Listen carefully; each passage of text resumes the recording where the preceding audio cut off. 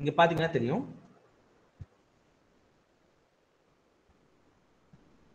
இதுதான் வந்து பாத்தீங்கன்னா செல் வால் இந்த இருக்கு இல்லையா? இந்த கிரீன் கலர் லேயர் தான் என்ன? செல் வால் ஓகே இது நான் மேல காமிச்சிருக்கிறது தாவர செல் இந்த தாவர செல்ல முதல்ல வந்து பார்த்தோன்னா இந்த செல்வால் உண்டாயிருச்சு அப்படின்னா இந்த செல்வால்களுக்கு அடுத்து மிடில் லேமலா உண்டாகும். அதாவது மைய லேமலா சரியா? இடை லேமலா அப்படிங்கிறது உருவாகும். சரியா? இந்த இடை லேமலா இந்த மிடில் லேமலால என்ன இருக்கும் அப்படின்னா கால்சியம் பெக்டேட் இருக்கும்.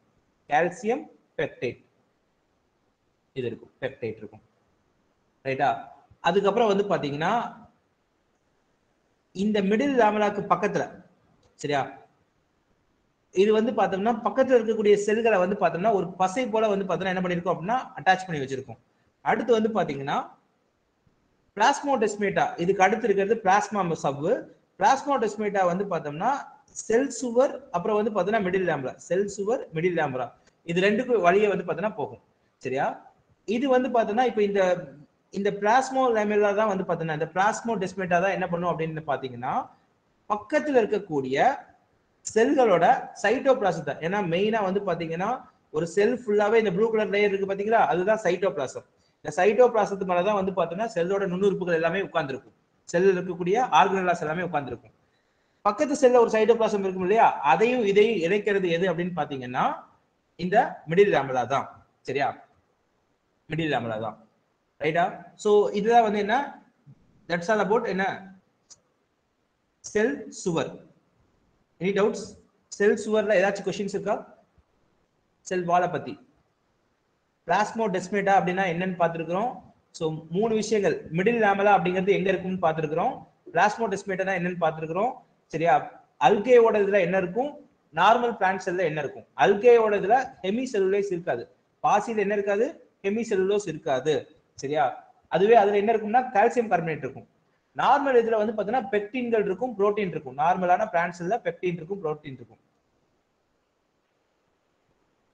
ஓகே இந்த பிளாஸ்மோடெஸ்மேட்டா தான் என்ன பண்ணும் அப்படின்னு பாத்தீங்கன்னா சரி இந்த பிளாஸ்மோடெஸ்மேட்டா தான் என்ன பண்ணும் அப்படின்னு பாத்தீங்கன்னா நமக்கு பக்கத்துல இருக்கக்கூடிய செல்களோட சைட்டோபிளாஸ்ட் தான் என்ன பண்ணும்? இணைக்கும். நெய்பரிங் செல்ஸ்க்கு பிடிவில் இருக்கக்கூடிய சைட்டோபிளாஸ்ட் தான் இணைக்கும்.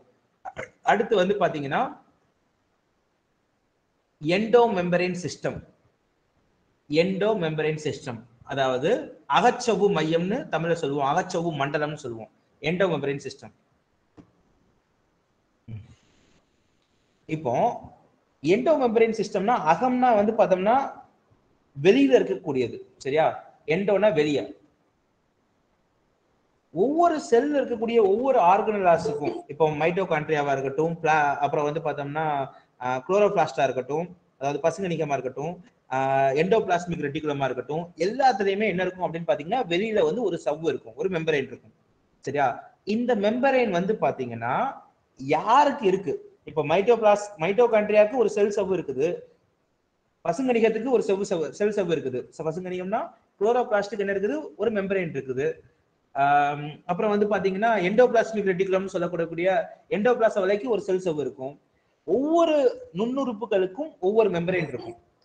இந்த மெம்பரைன் என்ன பண்ணும் அப்படின்னா இந்த மெம்பரேன் எப்படிப்பட்டதா இருக்கும் அப்படின்னா யாருக்கிட்ட இருக்கும்? நம்ம மைட்டோகான்ட்ரியாக்கு இருக்கோம்னா மைட்டோகான்ட்ரியோட ஃபங்க்ஷன் என்ன? மைட்டோகான்ட்ரியோட ஸ்ட்ரக்சர் என்ன? மைட்டோகான்ட்ரியோட அமைப்பு மைட்டோகான்ட்ரியோட செயல்முறை. இதை அடிப்படையா வச்சுதான் அதுல இருக்கக்கூடிய சவ்வு இருக்கும். ஸோ ஒவ்வொரு செல் நுண்ணுறுப்புகளோட சவ்வுகள் வந்து பாத்தீங்கன்னா அதோட அமைப்பு செயல்பாடுகள் இது ரெண்டையும் வச்சுக்கிட்டு வேற வேற மாதிரி இருக்கும். எந்த மாதிரியான ஃபங்க்ஷனுக்கு இயங்குது என்ன மாதிரியான ஸ்ட்ரக்சர்ல இருக்குது அப்படிங்கிறத வச்சு வேற வேற செல் நுண்ணுறுப்புகளுக்கு வேற வேற சவ்வுகள் இருக்கும். சரியா? இது எல்லா சவ்வுகளும் ஒண்ணு சேர்ந்து நம்ம வந்து பார்த்தோம்னா என்ன பண்ணுவோம் அப்படின்னா அதான் அகச்சவு மண்டலம் அப்படின்னு சொல்லி சொல்லுவோம். என்ன சொல்லுவோம்? எண்டோ மெம்பரேன் சிஸ்டம் அப்படின்னு சொல்லுவோம். இப்போ இந்த எண்டோ மெம்பரேன் சிஸ்டத்துல வந்து பார்த்தோம்னா யாரெல்லாம் வருவாங்கன்னா எண்டோபிளாச வலை வரும். எண்டோபிளாஸ்மிக் ரெட்டிகுலம் வரும். கோல்கை பாடிஸ் வரும். கோல்கை உடலம் வரும். லைசோசோம் வரும். அப்புறம் வேக்வோல் வரும். இது நாலுமே வந்து பாத்தீங்கன்னா எதுக்கு கீழே வருது? அகச்சவு மண்டலத்தின் கீழ் வருது. எண்டோ மெம்பரேன் சிஸ்டத்துல இந்த நாலு கேட்டகரி வருது. சரியா இது இல்லாம வந்து பாத்தீங்கன்னா மைட்டோகான்ட்ரியா பசுங்கணிகம் பெராக்சிசோம் மைட்டோகான்ட்ரியா குளோரோபாஸ்ட் பெராக்சிசோம் இது வந்து பார்த்தோம்னா it doesn't come under endomembrane system அகச்சவு மண்டலத்துல ஒரு பகுதியை இதை நம்ம என்ன பண்ண மாட்டோம்? எடுத்துக்க மாட்டோம். மெயினா எண்டோமெம்பரேன் சிஸ்டத்துல நாலு பேர் தான் வராங்க. ஒன்னு endoplasmic reticulum Golgi bodies lysosome vacuole. Mitochondria பசுங்கணிகம் peroxisome mitochondria chloroplast peroxisome இந்த மூணு எதுல வராது? எண்டோபிளாஸ் எண்டோமெம்பரேன் சிஸ்டத்துக்கு கீழே வராது. சரியா? இது பாத்தீங்கன்னா தெரியும்.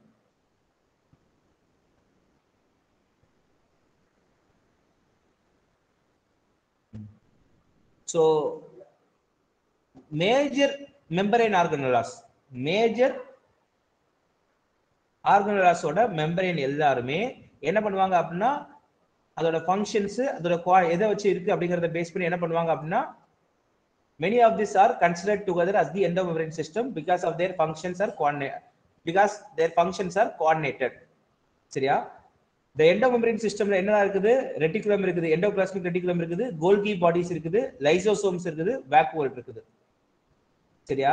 இதுல வந்து மைட்டோகாண்ட்ரியா குளோரோபிளாஸ்ட் பிராக்சிசோம் இதோட ஃபங்க்ஷன்ஸ் வந்து பார்த்தோம்னா மேல இருக்கிறதோட செயல்பாடுகளோட ஒத்து போகாததால அது கொஞ்சம் வேற மாதிரி இருக்கும் இது கொஞ்சம் வேற மாதிரி இருக்கும் அப்படிங்கிறதால எண்டோபிளாஸ்மிக் எண்டோமெம்பரேன் சிஸ்டத்துக்கு கீழே இது வராது. Again I will repeat it சரியா? Try to understand endomembrane system அப்படின்னா எனக்கு செல்கள்ல நிறைய நுண்ணுறுப்புகள் இருக்கும். நிறைய ஆர்கனலாஸ் இருக்கும். ஒவ்வொரு ஆர்கனலாஸுக்கும் ஒரு மெம்பரைன் இருக்கும். ஒவ்வொரு நுண்ணுறுப்புக்கும் தனிப்பட்ட சவ்வு இருக்கும். இதுல இந்த சவ்வுகள்லாம் எதன் அடிப்படையில் இருக்கும் அப்படின்னு பாத்தீங்கன்னா எந்த நுண்ணுறுப்புக்கு எந்த சவ்வு இருக்குது? எந்த ஆர்கனலாஸ்க்கு எந்த மெம்பரைன் இருக்குது? அதை அடிப்படையை வச்சுதான். எந்த ஆர்கனலா இருக்கு? அதோட ஸ்ட்ரக்சர் என்ன? அதோட ஃபங்க்ஷன் என்ன? இதை பேஸ் பண்ணி தான் அந்த மெம்பரைன் இருக்கும். சரியா? இதுல ஒரு சில ஆர்கனலாஸோட மெம்பரைன் ஒரு சில ஆர்கனலாஸோட மெம்பரைன் எல்லாருமே ஒரே ஃபங்க்ஷனா இருக்கும். எல்லாத்துக்குமே என்ன இருக்கும்? ஒரு குவாடினேஷன் இருக்கும். ஒரு கனெக்ஷன் இருக்கும். அவங்கள எல்லாத்தையும் நான் என்ன பண்றேன் அப்படின்னா கம்பைன் பண்றேன். எந்தெந்த ஆர்கனலாஸுக்கெல்லாம் மெம்பரைன் வந்து பார்த்தோம்னா கண்டினியூஸா ஒரு ஃபங்க்ஷனா தொடர்ச்சியா இருக்குதோ அது எல்லாத்தையும் ஒண்ணு சேர்க்கிறேன். அதுக்கு பேர் தான் என்ன பேரு? எண்டோ மெம்பரேன் சிஸ்டம் இந்த எண்டோ மெம்பரேன் சிஸ்டம்ல யாரெல்லாம் வராங்க அப்படின்னா எண்டோ பிளாஸ்மிக் ரெட்டிகுலம் வரும் கோல்கி காம்ப்ளெக்ஸ் வரும் லைசோசோம் வரும் வேக்வல்ஸ் வரும். திருப்பி தமிழ்ல சொல்றேன் கேட்டுக்குங்க. எண்டோ அகச்சவு அகச்சவ்வு மண்டலம். அகச்சவ்வு அகச்சவ்வு மண்டலம். அகச்சவ்வு மண்டலத்தை பொறுத்த வரைக்கும் செல்கள்ல இருக்கக்கூடிய எல்லா நுண்ணுறுப்புகளோட எல்லா நுண்ணுறுப்புகள்னா ஒரு சில குறிப்பிட்ட நுண்ணுறுப்புகளோட செல் சவ்வுகள் எல்லாமே பார்த்தீங்கன்னா ஒரு குறிப்பிட்ட வேலையை தான் செய்யும். சரியா? என்ன வேலையை செய்யும்? யார் அது பாதுகாக்குதோ அதுக்கு தகுந்த மாதிரி அது வேலை செய்யும். சரியா? அதுல ஒரு சில நுண்ணுறுப்புகளோட செல் சவ்வுகள் எல்லாமே வந்து பாத்தீங்கன்னா ஒரே ஃபங்க்ஷனா இருக்கும். எல்லாமே ஒரே வேலையை செய்யக்கூடியதா இருக்கும். ஸோ அதை வந்து பார்த்தோம்னா ஒரே ஆள் தான் கோஆர்டினேட் பண்ணுவாங்க. ஒரே ஆள் தான் என்ன பண்ணுவாங்க? ஒருங்கிணைப்பாங்க. ஸோ அப்படி ஒரு சில நுண்ணுறுப்புகளோட அகச்செவ்வை மட்டும் ஒரு சில நுண்ணுறுப்புகளோட வெளிப்புற சவ்வை மட்டும் நம்ம கன்சிடர் பண்றோம் அப்படின்னா கம்பைன் பண்ணி சொல்றோம் அப்படின்னா அதுக்கு பேர் தான் என்ன பேரு? எண்டோ மெம்பரைன் சிஸ்டம் அகச்சவ்வு மண்டலம். அதுல யாரெல்லாம் வரா? எண்டோபிளாஸ்மிக் ரெட்டிகுலம் எண்டோபிளாஸ்மிக் வலைப்பின்னல் வரும் கோல்கி படலங்கள் வரும் சரியா? லைசோசோம்ஸ் வரும் வேக்வல்கள் வரும். இதுல மைட்டோகாண்ட்ரியா குளோரோபிளாஸ்ட் பெராக்சிசம் இந்த மூணும் இந்த இதுக்கு கீழே வராது. ஏன்னா மேல சொன்னதோட ஃபங்க்ஷனும் இந்த மைட்டோகாண்ட்ரியா பெராக்சிசோம்ஸோட ஃபங்க்ஷனும் கொஞ்சம் வேற மாதிரி இருக்கிறதால இவங்க வந்து பார்த்தோம்னா எண்டோ மெம்பரேன் சிஸ்டத்துக்கு கீழே வரமாட்டாங்க. அப்ப என்ன கேட்பாங்க? அகச்சவு மண்டலத்துல யாரெல்லாம் வருவா யாரெல்லாம் வரமாட்டாங்கன்னு கேட்பாங்க. சரியா? சோ இப்போ ஃபர்ஸ்ட் அகச்சவு மண்டலத்துல இருக்கக்கூடிய எண்டோ பிளாஸ்மிக் ரெட்டிகுலம் எண்டோபிளாச வலைப்பின்னல்.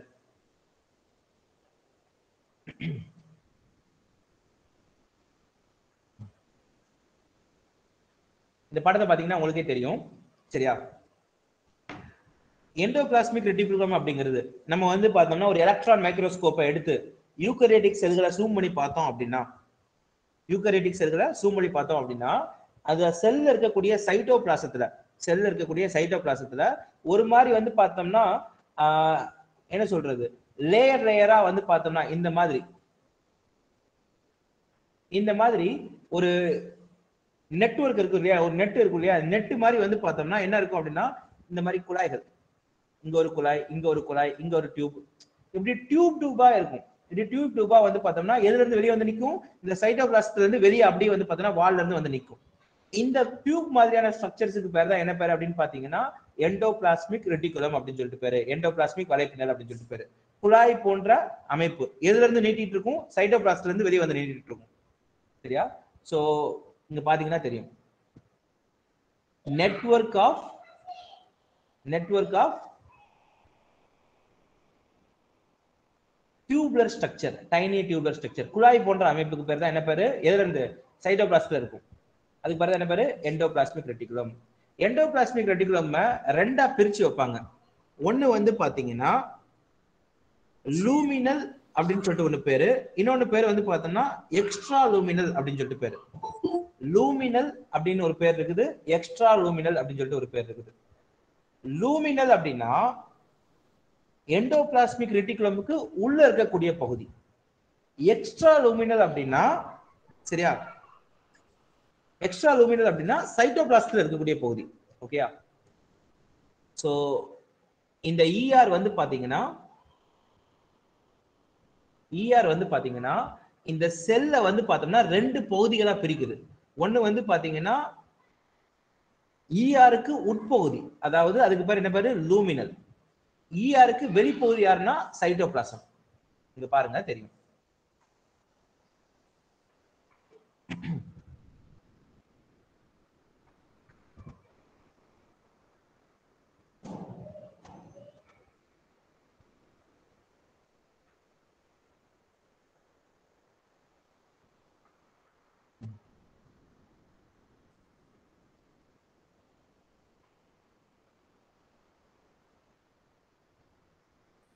இங்க பாத்தீங்கன்னா ஒரே நிமிஷம்.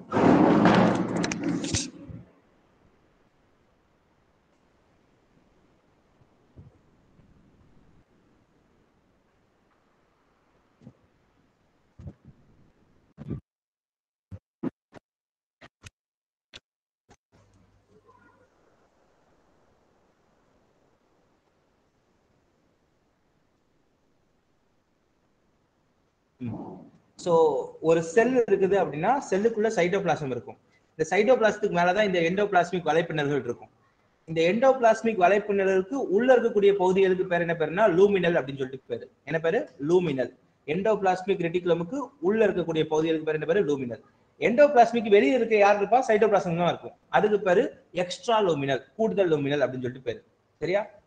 ஓகே இப்போ இந்த எண்டோபிளாஸ்மிக் ரெட்டிகுலமோட வெளியில வந்து பாத்தீங்கன்னா எது இருக்கும் அப்படின்னு பாத்தீங்கன்னா ரிபோசோம்கள் ஒட்டிக்கிட்டு நிற்கும். இந்த எண்டோபிளாஸ்மிக் எண்டோபிளாச வலைப்பின்னலோட வெளிப்பரப்புல தான் எது இருக்கும் அப்படின்னு பாத்தீங்கன்னா இந்த ரிபோசோம்கள் இருக்கும். சரியா? அடுத்து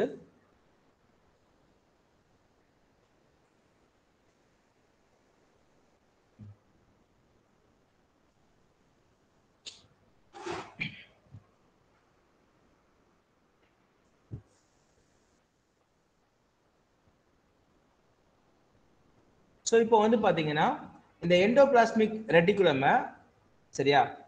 எண்டோபிளாஸ்மிக் ரெட்டிகுலமுக்கு வெளியில யார் யாருக்கெல்லாம் வந்து பார்த்தீங்கன்னா ரிபோசோம் இருக்குதோ அதை வந்து பார்த்தீங்கன்னா ரஃப் எண்டோபிளாஸ்மிக் ரெட்டிகுலம்னு சொல்லுவோம். யார் யாருக்கெல்லாம் ரிபோசோமே இல்லை அப்படின்னா அவங்கள ஸ்மூத்துன்னு சொல்லுவோம். இந்த படத்துல பார்த்தீங்கன்னா தெரியும். இங்க பாருங்க. வெளியில வந்து பார்த்தீங்கன்னா இந்த டாட் டாட்லாம் ஒட்டிக்கிட்டு இருக்கு இல்லையா? இதுதான் ரிபோசோம்கள் இந்த ரிபோசோம்கள் ஒட்டிக்கிட்டு இருந்துச்சு அப்படின்னா அதுக்கு பேர் வந்து பாத்தீங்கன்னா ரஃப் எண்டோபிளாஸ்மிக் ரெட்டிகுலம் சொரசொரப்பான எண்டோபிளாஸ்மிக் வலை. எது? ரிபோசோம்கள் ஒட்டிட்டு இருந்துச்சுன்னா. ரிபோசோம்களே ஒட்டாம எந்த இருக்கு பாத்தீங்களா? எண்டோபிளாஸ்மிக் வலையில இந்த குழாயில ரிபோசோம்கள் ஒட்டாம இருந்துச்சு அப்படின்னா அதுக்கு பேரு ஸ்மூத் எண்டோபிளாஸ்மிக் ரெட்டிகுலம் சரியா? சரி. இதை கண்டுபிடிச்சது யாரு அப்படின்னு பாத்தீங்கன்னா இந்த எண்டோபிளாஸ்மிக் ரெட்டிகுலம் இருக்கிறத கண்டுபிடிச்சது யாரு அப்படின்னு பாத்தீங்கன்னா கேஆர் பார்டர் மற்றும் கால்மன் கேஆர் பார்டர் மற்றும் கால்மன் ஓகேயா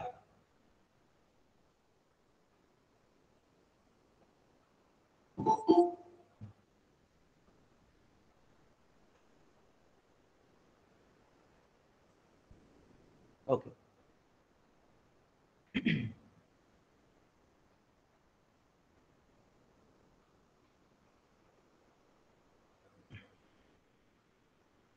அடுத்து வந்து பாத்தீங்கன்னா இந்த ஆரியார் எடுத்துக்கிட்டோம் அப்படின்னா ஆரியார் எடுத்துக்கிட்டீங்க அப்படின்னா மெயினா வந்து பார்த்தோன்னா அதோட முக்கியமான வேலையை என்னன்னா புரோட்டீன் சிந்தசிஸ் அண்ட் சிக்ரியேஷன் அதாவது புரதம் சேர்க்கை நடைபெறுவதற்கும் புரோட்டீன் சிந்தசிஸ் நடக்கிறதுக்கும் புரதங்கள் வந்து பார்த்தோம்னா அதிகம் புரோட்டீன்ஸ் வந்து பார்த்தோம்னா வெளியே வர்றதுக்கு செக்ரியேஷன் ஆகிறதுக்கும் இந்த ஆர்இஆர் தான் வந்து பார்த்தோம்னா முக்கியமாக வேலை பார்க்குது. சரியா? ரைட்டா இந்த ஆர்இஆர்ல இருக்கக்கூடிய இந்த ரிபோசோம் இருக்கு பாத்தீங்களா? இந்த ரிபோசோமோட ஹெல்ப்னால தான் நமக்கு என்ன வருது அப்படின்னு பாத்தீங்கன்னா இந்த புரோட்டீன்ஸ் வந்து பாத்தீங்கன்னா செக்ரியேட் ஆகி வெளியே வருது. சரியா?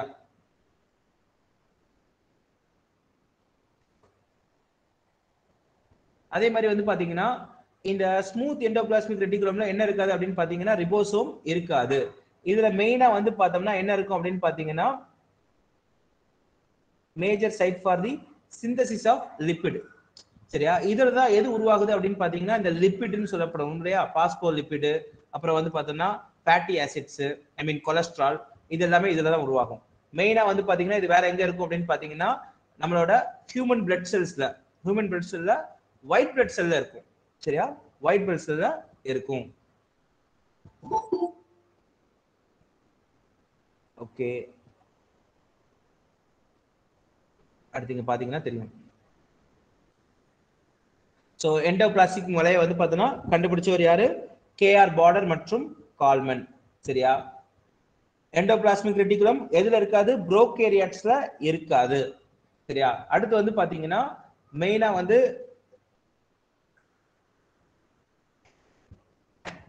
இதுல மூணு பார்ட்ஸ் இருக்கும். ஒன்னு வந்து பார்த்தோம்னா சிஸ்டனே அப்புறம் டியூபிள்ஸ் அப்புறம் வெசிக்கிள்ஸ் சரியா? சிஸ்டனே டியூபிள்ஸ் அப்புறம் வெசிக்கிள்ஸ்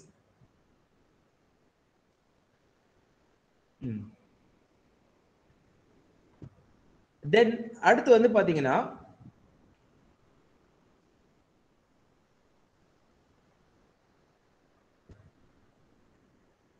எங்க இருக்கும் அப்படின்னு பாத்தீங்கன்னா ஸ்பெர்ம் செல்ஸ்ல வந்து பார்த்தோம்னா இந்த எண்டோபிளாஸ்மிக் ரெட்டிகுலம் ரொம்ப கம்மியா தான் இருக்கும். அப்புறம் வந்து பாத்தீங்கன்னா லிவர்ல எடுத்துக்கிட்டோம் அப்படின்னா சரியா? லிவர்ல அதிகமா இருக்கும். அப்புறம் வந்து பார்த்தோம்னா பேன்க்ரியாஸ்ல கணையத்திலையும் அதிகமா இருக்கும். சரியா? ஸோ இதெல்லாமே என்சிஆர்டியில் இல்ல. எக்ஸ்ட்ரா இன்ஃபர்மேஷன்ஸ் தான். You can note it out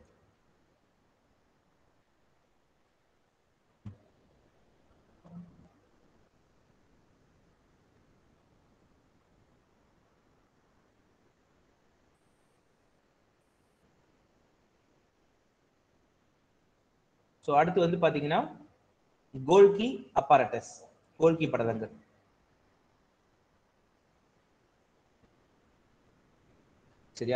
கோல்கி படங்கள் ஓகேயா இத யார் இது பண்ணார் அப்படின்னா கேமிலோ கோல்ஜி அப்படிங்கிறவர். கேமிலோ கோல்ஜி அப்படிங்கிறவர். எதுல கண்டுபிடிச்சார் அப்படின்னு பாத்தீங்கன்னா ஆந்தையிலையும் பூனையிலையும் இருக்கக்கூடிய நரம்பு செல்கள்ல. சரியா? ஆந்தையிலையும் பூனையிலையும் இருக்கக்கூடிய நரம்பு செல்கள்ல தான் முதல்ல வந்து பார்த்தோம்னா இதை கண்டுபிடிக்கிறாரு. சரியா? இதுக்கு என்னென்ன பேர் இருக்குது அப்படின்னு பாத்தீங்கன்னா டிக்டியோசோம்னு சொல்லிட்டு சொல்லுவாங்க. கோல்ஜியோசோம்னு சொல்லுவாங்க. சரியா? அப்புறம் இடியோசோம் சொல்லுவாங்க. அப்புறம் லிப்போ மைட்டோகான்ட்ரியா அப்படின்னு சொல்லுவாங்க. ஓகே சரி. ம். இது மேஜரா வந்து பாத்தீங்கன்னா இது எங்க கண்டுபிடிச்சிருக்காங்க அப்படின்னு பாத்தீங்கன்னா எங்க அப்சர்வ் பண்றாங்க அப்படின்னா நியூக்ளியஸுக்கு பக்கத்துல இருக்கக்கூடிய டென்ஸ்ட்ரி ஸ்டெயின்டு ரெட்டிகுலர் ஸ்ட்ரக்சர்ஸ்ல சரியா? நியூக்ளியஸுக்கு பக்கத்துல இருக்கக்கூடிய அதாவது வந்து ஒரு நல்ல கெட்டியான ஒரு இடத்துல இருந்து தான் வந்து பார்த்தோம்னா இத கண்டுபிடிக்கிறாங்க. இத இந்த கோல்கி படலங்களை ஓகே இது எப்படி இருக்கும் அப்படின்னு பாத்தீங்கன்னா இதோட ஸ்ட்ரக்சர்ஸ் எப்படி இருக்கும் அப்படின்னு பாத்தீங்கன்னா இந்த மாதிரி இருக்கும். ஒரு மாதிரி வந்து பார்த்தோம்னா லேயர் பை லேயரா வந்து பார்த்தோம்னா எப்படி இருக்கும்? இந்த மாதிரி இருக்கும். இந்த லேயர்ஸுக்கு தான் என்ன பேரு அப்படின்னு பாத்தீங்கன்னா சிஸ்டனே அப்படின்னு சொல்லிட்டு பேரு. இந்த லேயருக்கு என்ன பேரு? சிஸ்டனே அப்படின்னு சொல்லிட்டு பேரு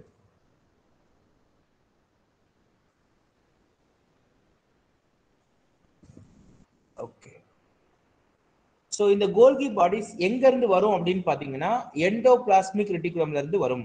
சரியா? எதுலேருந்து வரும்? எண்டோபிளாஸ்மிக் வலைப்பின்னல்ல இருந்து தான் இந்த கோல்கி பாடிஸ் வரும்.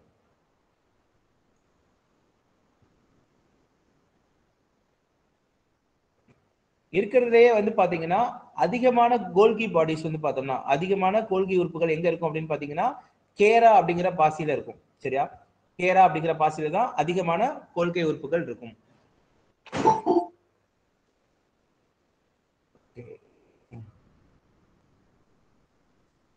ஸோ ஃபர்ஸ்ட் தமிழ்ல சொல்லிடுறேன் அதுக்கப்புறம் இங்கிலீஷ்ல சொல்றேன். கொஞ்சம் டிரான்ஸ்லேஷன் வேரி ஆகும். அதனால தமிழ்ல ஃபர்ஸ்ட் சொல்லிட்டு அப்புறம் இங்கிலீஷ்ல சொல்றேன்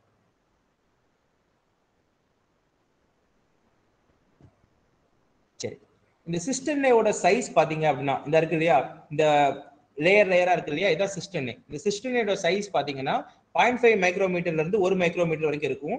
இந்த சிஸ்டனேல ரெண்டு ஃபேஸ் இருக்கும். ஒன்னு வந்து பாத்தீங்கன்னா உருவாகும் முகம்னு சொல்லுவாங்க சிஸ் முகம்னு சொல்லுவாங்க. இது வந்து பார்த்தீங்கன்னா நியூக்ளியஸ் உட்கரு சவ்வை நோக்கி காணப்படும். இன்னொன்று வந்து பார்த்தீங்கன்னா டிரான்ஸ் முகம்னு சொல்லுவாங்க முதிரும் முகம்னு சொல்லுவாங்க. இது செல் சவ்வை நோக்கி காணப்படும். சரியா? இந்த எண்டோபிளாச வலையில வந்து பார்த்தோம்னா புரோட்டீன்ஸ் வந்து உற்பத்தி ஆகும் எதுக்கு ஹெல்ப் பண்ணும்? இந்த புரோட்டீன் உற்பத்தி ஆகிறதுக்கு ரிபோசோம் தான் ஹெல்ப் பண்ணும். இந்த எண்டோபிளாச வலையில உற்பத்தி ஆகக்கூடிய புரதங்கள் வந்து பார்த்தோம்னா இந்த கோல்கே பாடிஸ் வழியா தான் வந்து பாத்தீங்கன்னா இந்த சிஸ்டனேக்கு வந்து அதோட டிரான்ஸ் மூலமா வந்து பார்த்தோன்னா என்ன ஆயிரும் வெளியேறும். ஏன்னா சிஸ் டிரான்ஸ்னு ரெண்டு முகம் இருக்குது. சிஸ் முகம் வந்து பார்த்தோன்னா நியூக்ளியஸை நோக்கி இருக்கும். டிரான்ஸ் முகம் வந்து பார்த்தோன்னா வெளிப்புறம் நோக்கி இருக்கும். சரியா? சவ்வை நோக்கி இருக்கும். ஸோ ரிபோசோம்ல இருந்து புரோட்டீன்கள் உற்பத்தியாகி அந்த புரோட்டீன்கள் வந்து இந்த சிஸ்டனே வழியா வந்து என்ன ஆயிரும் அப்படின்னு பாத்தீங்கன்னா இந்த டிரான்ஸ் வழியா வந்து என்ன ஆயிரும் அப்படின்னு பாத்தீங்கன்னா வெளியே போயிடும் அதே மாதிரி வந்து பாத்தீங்கன்னா மெயினா வந்து கிரேக்கோ புரோட்டீன்ஸ் கிரேக்கோ லிப்பிடுகள் உருவாக்குறதுல இந்த கோல்கே பாடுறதுக்கு தான் ரொம்ப முக்கிய பங்கு இருக்குது. சரியா? ஸோ இது முக்கியமா நமக்கு வந்து பார்த்தோம்னா விந்து செல்கள்ல வந்து ஆக்ரோசோமை உருவாக்குறது. சரியா? ஏன்னா அது நீந்தி போறதுக்கு வந்து பார்த்தோம்னா இந்த ஆக்ரோசோம் வந்து பார்த்தோம்னா ஹெல்ப் பண்ணும். அப்புறம் வந்து பார்த்தோம்னா செல் சுவர் செல் தட்டு இது உருவாக்குறதுலையும் இதுதான் ஹெல்ப் பண்ணுது. தென் முட்டையில் இருக்கக்கூடிய அந்த மஞ்சக்கரு வந்து பார்த்தோம்னா கோல்கே படலம் தான் காரணம். செல்லோட திரவ சமநிலையை சம் சீராக்குறது எது? இந்த கோல்கே பாடிஸ் தான். ஸோ நெக்ஸ்ட் எக்ஸாக்ட் இங்கிலீஷில் இருக்கிறத பார்க்கலாம்.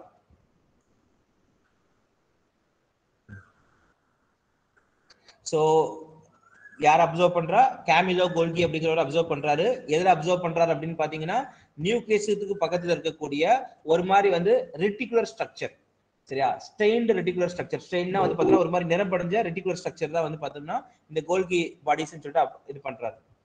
இதுக்கு அவர் என்ன பண்றாரு அப்படின்னா கோல்கி பாடிசின் பேர் வைக்கிறாரு. இவர் பேர் வைக்கிறதுக்கு முன்னாடியே இதுக்கு நிறைய பேர்கள் இருக்குது. என்னென்ன பேர்லாம் இருந்துச்சு? டிக்டியோசோம்னு ஒரு பேர் இருக்குது. கோல்ஜியோசோம் இடியோசோம் சரியா? அப்புறம் வந்து பாத்தீங்கன்னா லிப்போ மைட்டோகாண்ட்ரியா அப்படின்னு சொல்லி சொல்லுவாங்க. இது எல்லாமே கோல்கி பாடிஸ்க்கு டிஃப்ரெண்ட் டிஃப்ரெண்ட் பேர். இதுல வந்து பாத்தீங்கன்னா ஒரு பிளாட்டான டிஸ்க் ஷேப்ல இருக்கக்கூடிய இந்த சிஸ்டனே இருக்கும்.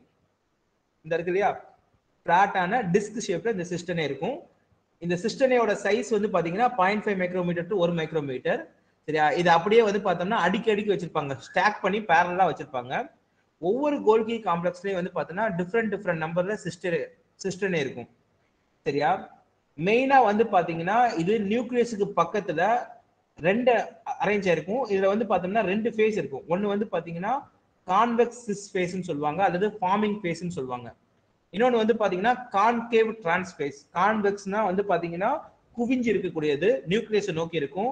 கான்கேவ்னா வந்து பார்த்தோம்னா குழி குழி மாதிரி இருக்கும். சரியா? அது டிரான்ஸ்பேஸ். இந்த கான்கேவ் டிரான்ஸ்பேஸ் தான் வந்து பார்த்தோம்னா வெளிப்புறம் நோக்கி இருக்கும். சரியா? எதிர நோக்கி இருக்கும் அதாவது செல் மெம்பரைனை நோக்கி இருக்கும். ஸோ மேஜரா வந்து பாத்தீங்கன்னா என்ன பண்ணும் இதோட ஃபங்க்ஷன்ஸ் எடுத்து பார்த்தோம் அப்படின்னா நமக்கு வந்து பேக்கேஜிங் மெட்டீரியலாக வந்து பார்த்தோன்னா ஃபங்க்ஷன் ஆகும். அதாவது வந்து பார்த்தீங்கன்னா எது எதுலாம் வந்து பார்த்தோம்னா ஒரு இன்ட்ரா செல்லுல ஒரு செல்ல இருந்து இன்னொரு செல்லுக்கு டிரான்ஸ்ஃபர் பண்ண வேண்டிய ஆட்கள் எது? அப்புறம் வந்து பார்த்தோம்னா செல்கள்ல செக்ரியேட் ஆகக்கூடிய புரோட்டீன்ஸை வெளியே தள்ளுறதுல இந்த கோல்கி அப்ரண்டிஸ்க்கு தான் ரொம்ப முக்கிய பங்கு இருக்குது. சரியா? ஸோ மேஜரா வந்து பார்த்தீங்கன்னா இந்த எதெல்லாம் பேக்கேஜ் பண்ணி எந்தெந்த மெட்டீரியல்லாம் வெளியே தள்ளணுமோ சரியா? அதை வெசிக்கிள்ஸா வந்து பார்த்தோம்னா இந்த எண்டோபிளாஸ்மிக் ரெட்டிகுலம்ல வந்து பார்த்தோம்னா அது ப்ரொடியூஸ் ஆகும். அது வந்து பார்த்தீங்கன்னா கோல்கி அப்பராட்டஸ் வழியா அதோட டிரான்ஸ் ஸ்பேஸ் வழியா என்ன ஆயிரும் அப்படின்னா வெளியே போயிடும் சரியா? இதனாலதான் வந்து பார்த்தோம்னா கோல்கி அப்பராட்டஸ் வந்து பார்த்தோம்னா எண்டோபிளாஸ்மிக் ரெட்டிகுலமோட ரொம்ப க்ளோஸா இருக்கும். சரியா? ஸோ எண்டோபிளாஸ்மிக் ரெட்டிகுலம்ல இருக்கக்கூடிய ரிபோசோம்ல தான் வந்து பார்த்தீங்கன்னா புரோட்டீன்ஸ் அதிகமாக உற்பத்தி ஆகும் இந்த புரோட்டீன்ஸ் தான் வந்து பார்த்தீங்கன்னா இந்த புரோட்டீன்ஸ் தான் எண்டோபிளாஸ்மிக் ரெட்டிகுலம்ல இருந்து கோல்கி அப்பரேட்டஸ்க்கு வந்து அதோட டிரான்ஸ்பேஸ் வழியா வெளியே போகுது. சரியா? இதுல வந்து பாத்தீங்கன்னா மெயினா கிரேக்கோ புரோட்டீன்ஸ் கிரேக்கோ லிபிட்ஸ் இது உருவாகிறதுக்கு இந்த யார் காரணமா இருக்கா? இந்த கோல்கி அப்பரேட்டஸ் தான் காரணமா இருக்குது. வெயிட் மினிட் ஜஸ்ட் மினிட்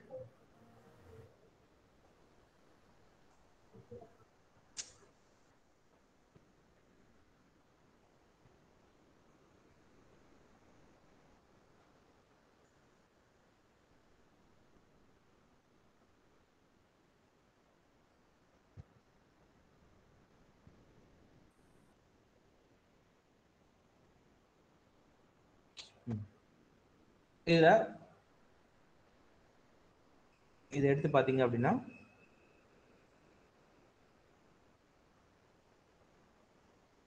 இருக்கு இல்லையா?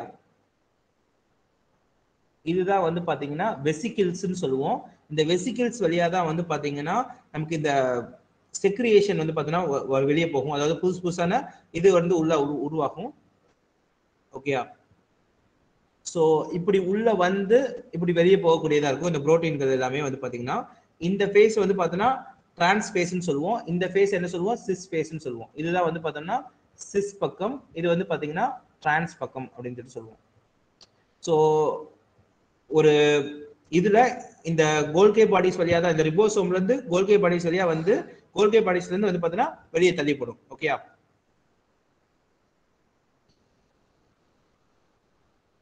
ஸோ இந்த கோல்கி பாடிஸ் தான் வந்து பாத்தீங்கன்னா செல்லோட பிளேட்டு செல்லோட வால் இதெல்லாமே உருவாக்குறதுக்கு காரணமா இருக்குது. சரியா? அடுத்து வந்து பார்த்தோம்னா will go on to mitochondria இது வரைக்கும் சொல்றது டவுட் இருக்குன்னா கேளுங்க. திருப்பி சொல்லணுமா?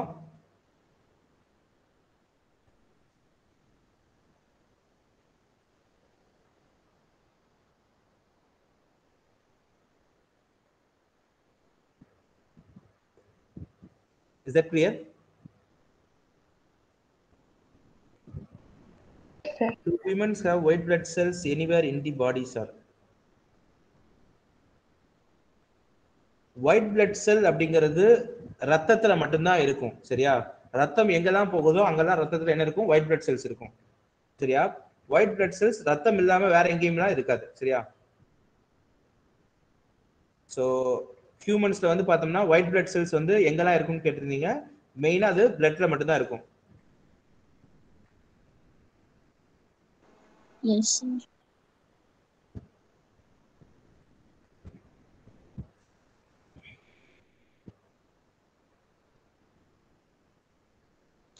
Once again Golgi apparatus. Okay நான் திருப்பி சொல்றேன்.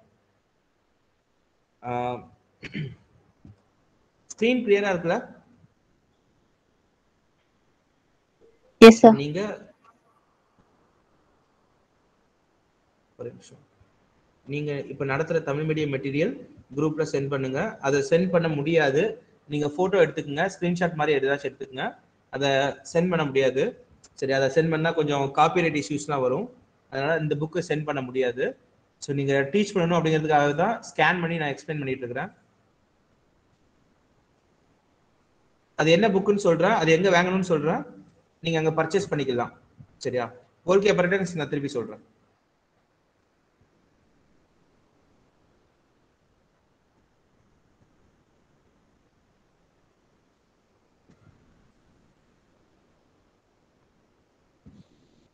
ஓகே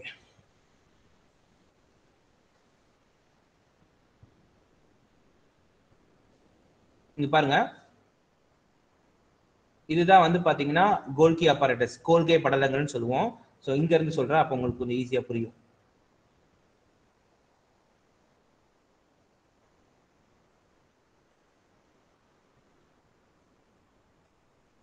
எங்க இருக்குதுன்னா இந்த இருக்குது இல்லையா?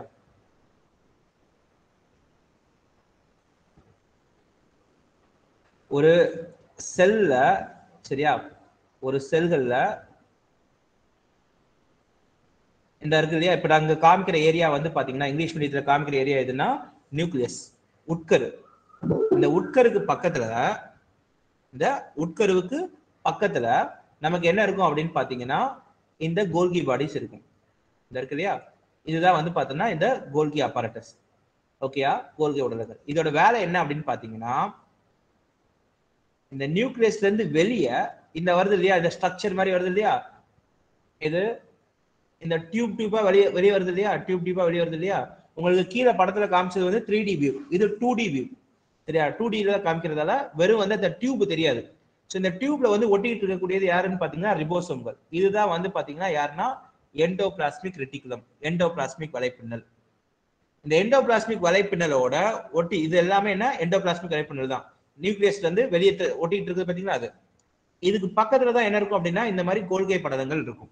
இதுக்கு பக்கத்துல தான் என்ன இருக்கும்? இந்த கோல்கை படலங்கள் இருக்கும்.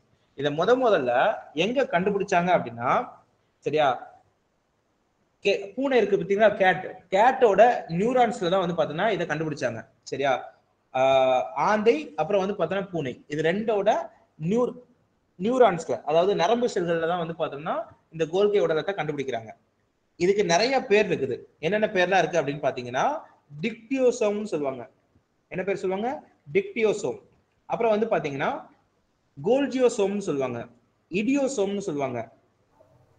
ஓகே இது எல்லாமே என்ன? கோல்கி அப்பரேட்டஸோட டிஃப்ரெண்ட் டிஃப்ரெண்ட் நேம்ஸ் சரியா? கோல்கி பாடிஸ் இருக்கு இல்லையா? அதோட டிஃப்ரெண்ட் டிஃப்ரெண்ட் நேம் அடுத்து வந்து பாத்தீங்கன்னா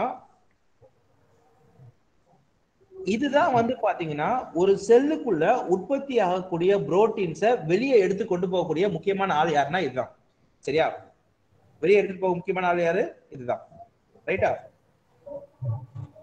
அடுத்து அடுத்து இந்த நியூக்ளியஸ ஒட்டி என்ன இருக்குது அப்படின்னா எண்டோபிளாஸ்மிக் ரெட்டிகுலம் இருக்குது. இந்த எண்டோபிளாஸ்மிக் ரெட்டிகுலத்துக்கு வெளியே தான் இந்த கோல்கி அப்பaratus வரும். சரியா? இந்த கோல்கி அப்பaratusல ரெண்டு ஃபேஸ் இருக்கும். ஒன்னு வந்து பாத்தீங்கன்னா சிஸ் ஃபேஸ்னு சொல்லுவாங்க. இன்னொன்னு வந்து பாத்தீங்கன்னா டிரான்ஸ் ஃபேஸ்னு சொல்லுவாங்க. சிஸ் ஃபேஸ்னா உருவாகக்கூடிய ஃபேஸ்னு அர்த்தம். ஃபார்மிங் ஃபேஸ் அப்படின்னு சொல்லிட்டு பேரு. சிஸ் முகம். இன்னொரு முகம் வந்து பாத்தீங்கன்னா டிரான்ஸ் முகம். அதுக்கு பேர் என்ன பேருன்னா முதிரும் முகம்னு சொல்லுவாங்க. மெச்சூரிங் ஃபேஸ் அப்படின்னு சொல்லுவாங்க. இந்த டிரான்ஸ் ஃபேஸ் வந்து பாத்தீங்கன்னா செல் செவ்வ நோக்கி இருக்கும். சிஸ் ஃபேஸ் வந்து பாத்தீங்கன்னா எதை நோக்கி இருக்கும்னா நியூக்ளியஸை நோக்கி இருக்கும். பாத்தீங்கன்னா டிரான்ஸ் ஃபேஸ் வந்து பாத்தீங்கன்னா இப்படி வந்து குவிதலா இருக்கும். அதாவது வந்து பாத்தீங்கன்னா கான்வெக்ஸ் ஷேப்ல இருக்கும். சரியா? சிஸ் ஃபேஸ் வந்து பாத்தீங்கன்னா கான்கேவ் ஷேப்ல இருக்கும். குழி மாதிரி வடிவத்துல இருக்கும்.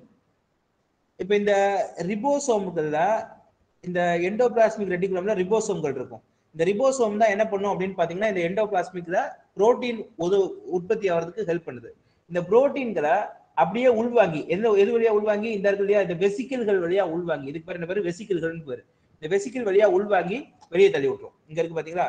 இந்த இருக்குல்ல இந்த மாதிரி வெசிக்கிள் வழியா உள்வாங்கி என்ன பண்ணும்? வெளியே தள்ளி விடும். எது வெளியே தள்ளி விடும்? இந்த டிரான்ஸ் ஃபேஸ் தான் வெளியே தள்ளி விடும். சிஸ் ஃபேஸ் தான் உள்ள வாங்கும்.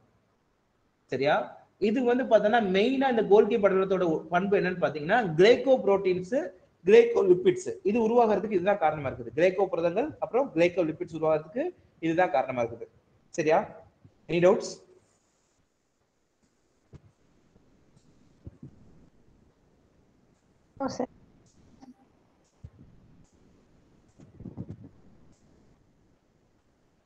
endoplasmic Golgi bodies புரிஞ்சுதா?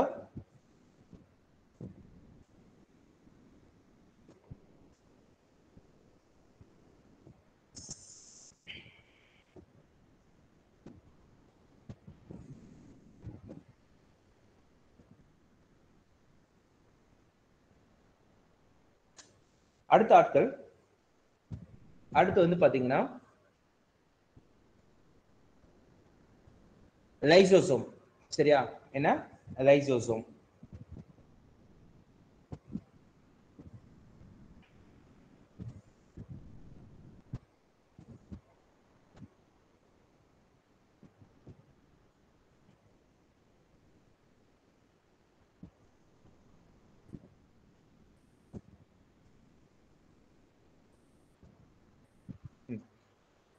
ஸோ இந்த லைசோசோமை பொறுத்த வரைக்கும் இதை க இதை வந்து பார்த்தோம்னா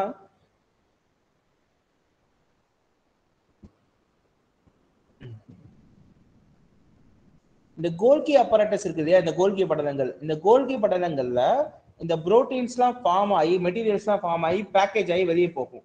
சரியா? இது வெளியே போகிறதுக்கு சரியா? ஹெல்ப் பண்ணக்கூடியதோ வெசிகுலர் ஸ்ட்ரக்சர் தான் நம்ம என்ன சொல்லுவோம் அப்படின்னு பார்த்தோம்னா லைசோசோம்னு சொல்லுவோம். சரியா?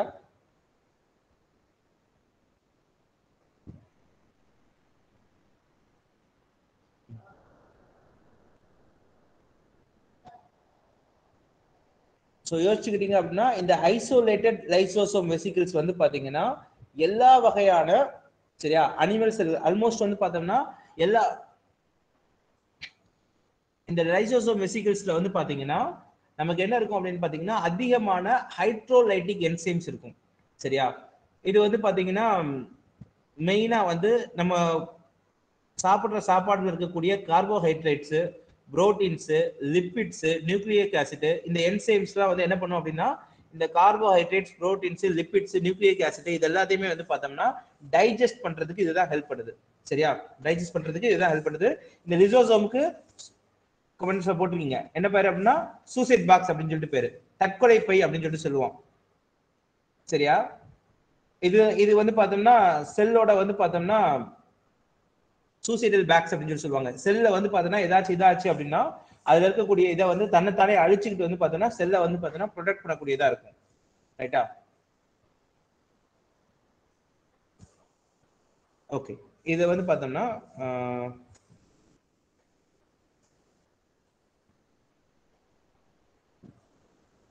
just update so Tamil medium பாருங்க.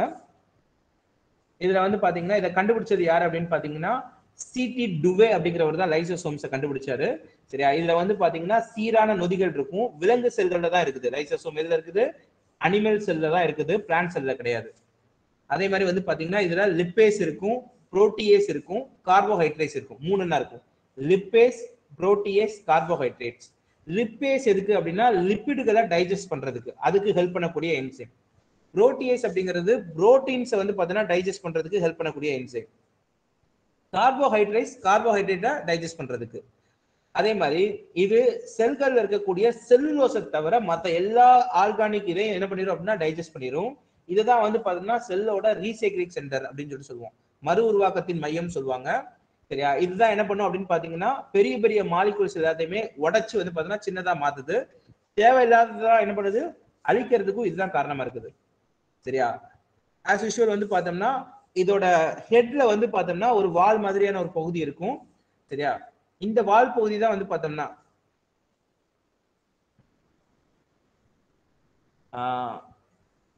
இந்த செல்லுக்கு வெளியே இருக்கக்கூடிய ஃபுட் மெட்டீரியல்ஸ் எல்லாத்தையுமே வந்து பார்த்தோம்னா பேக்கோசைட்டோசிஸ் அப்படிங்கிற ப்ராசஸ் செல் விழுங்குதல் அப்படிங்கிற ப்ராசஸ் மூலமா என்ன பண்ணும் அப்படின்னா உள்ள எடுத்து டைஜஸ்ட் பண்ணும். சரியா?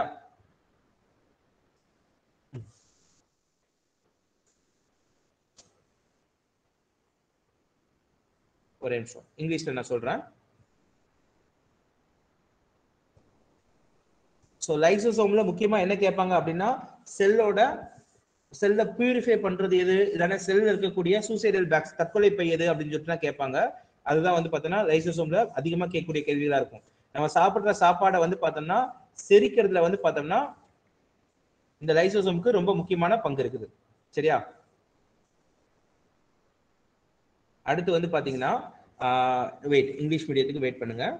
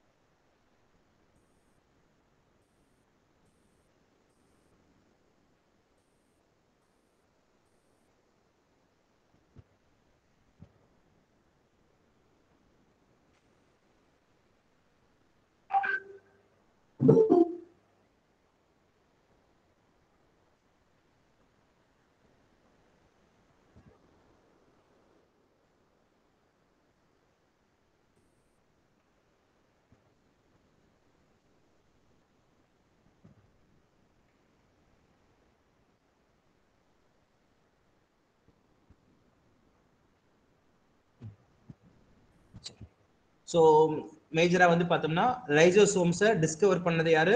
கிறிஸ்டியன் டே டுவே சரியா? இதுக்கு பேர் என்ன பேர் அப்படின்னு பார்த்தோம்னா இது வந்து தனி ஒரு உறுப்பாக தான் இருக்கும். சரியா? யூக்கரேட்டிக் செல்களில் மட்டும்தான் இருக்கும். லைசோசோமை பொறுத்த வரைக்கும் இது எப்படி இருக்கும் அப்படின்னு பார்த்தீங்கன்னா இந்த இந்த கோல்கி பாடிஸ் இருக்கு இல்லையா? அது வந்து பார்த்தோம்னா ஆஹ், ஒரே நிமிஷம்.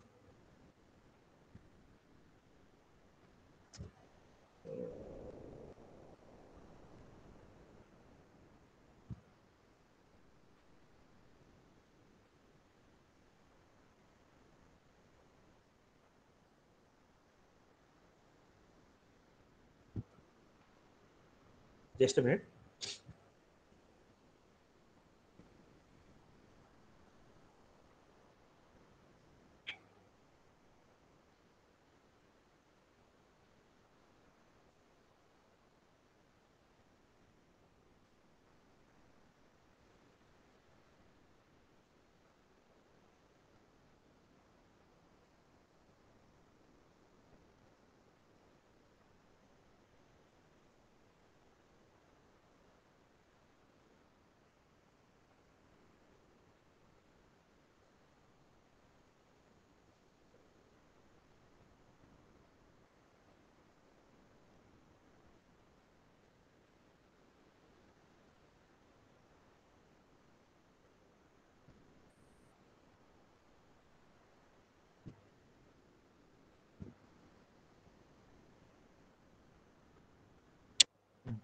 ஓகே ஸோ